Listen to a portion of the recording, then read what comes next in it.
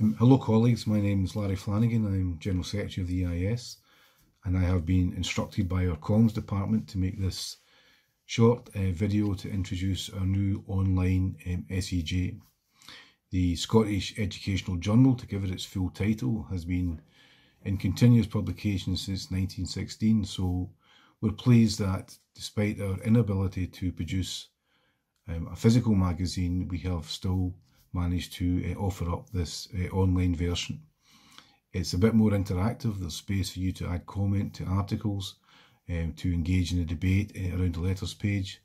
And we've also made a particular effort to get stories from uh, the classroom in terms of what people are doing around hubs, what they're doing around remote teaching, um, and how they're coping with the impact of COVID-19. Um, I hope you enjoy the content. Uh, we're certainly open to suggestions for future developments. Um, and the SEJ will sit alongside all the rest of our comms in trying to ensure that you are kept up to date and involved in all of the issues that the EIS is representing members on um, and the debates that we are taking part in. So, as I say, I hope you enjoy the content and we'd be delighted to hear back from you in due course.